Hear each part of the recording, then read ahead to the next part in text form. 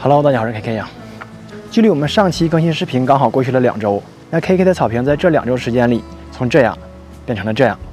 那今天我们就来聊一聊，在过去的两周时间里，KK 都做了什么。那同样作为养殖暖季草的你，可以从我的经验里借鉴到什么？然后我们再来聊一聊冷季草。那在秋天的这个时候，你在播种的时候需要注意些什么？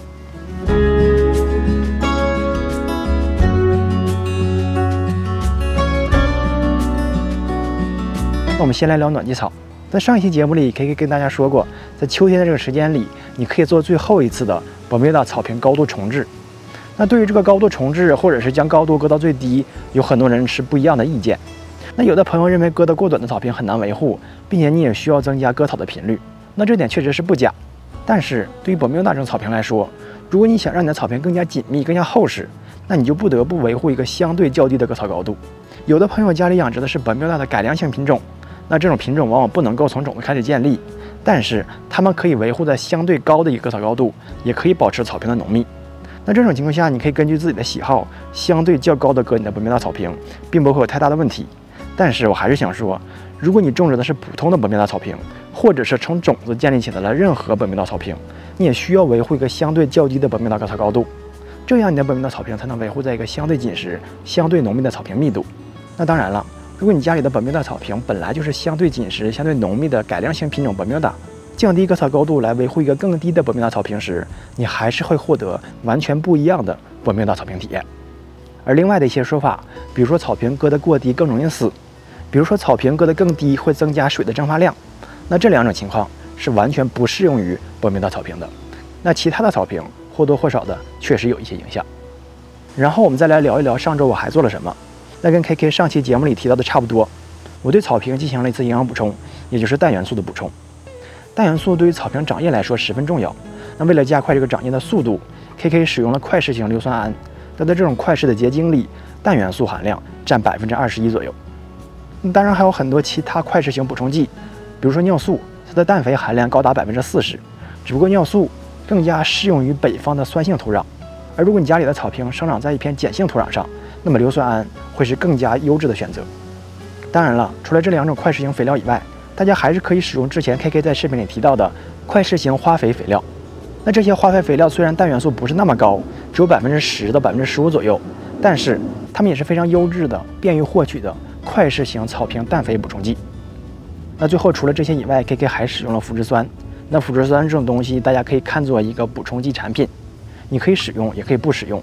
但是如果你使用，在秋天的这个时候，也是一个非常好的选择。它不仅可以帮助改良你的草坪土壤，还可以帮助你的草坪更加快速的吸收这些你吃进去的营养含量。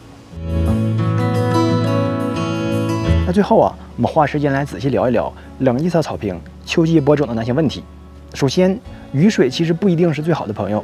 相反，很多朋友种草籽，百分之八十的失败原因是由于水过大的问题。雨水会移动草籽，那如果你的草籽被冲走了，自然也就长不出草来。那另外呢，如果你的草籽刚刚发芽，过大的雨水也会冲断草籽幼嫩的根系，从而造成种草失败。那对于这种情况来说呢，草坪萌发毯或者是草坪覆盖的毛草层是一个不错的选项。包括如果你补种的地方坡度过大，或者是过度雨水冲刷的问题，这两个选项应该是你优先考虑的两个选择之一。那另外百分之二十种草失败的原因，其中有一项往往是因为草籽不能够与土壤完全接触的情况。我们说的土壤与草籽完全接触，指的就是字面上的草籽与土地完全接触，而并不是说你的草籽可以覆盖到你的草叶间，或者是被茅草层所隔断。生长在叶间或者是茅草层的草籽，虽然它们可以发芽，但是它们不能够完全长大甚至成熟，这点大家需要仔细注意。那解决方式呢，就是需要你提前准备土壤，将你的草坪割草高度相对来说降低一些，然后使用 detacher 或者是其他的机器，将覆盖在土壤上方的杂质清除。在处理之后，你的种草成功的概率就会大大提高。那另外呢，有的人也建议，既然草籽不是很贵，那我们就可以多播撒一些草籽来提高种草的成功率。那这种情况呢，KK 也并不是完全认同。那如果你的草籽播撒的过于紧密，那么你刚刚生长出来的草芽就会面临非常严重的竞争。这种竞争不单单包括阳光、水分和肥料，还包括土壤的空间以及草叶间的空气流动的速度。那一旦草叶间没有足够的空气流通，那往往意味着你的草坪将更加容易感染草病，而这种草病是非常容易带到冬天去的。最后啊，我建议大家如果新种草坪，在前两周或者是前一个月里，尽量使用 starter fertilizer。这种肥料往往带有较高的磷肥含量，而磷肥这种东西对于刚刚生长出来的草坪有芽，对于它们的生根的促进作用是非常明显的。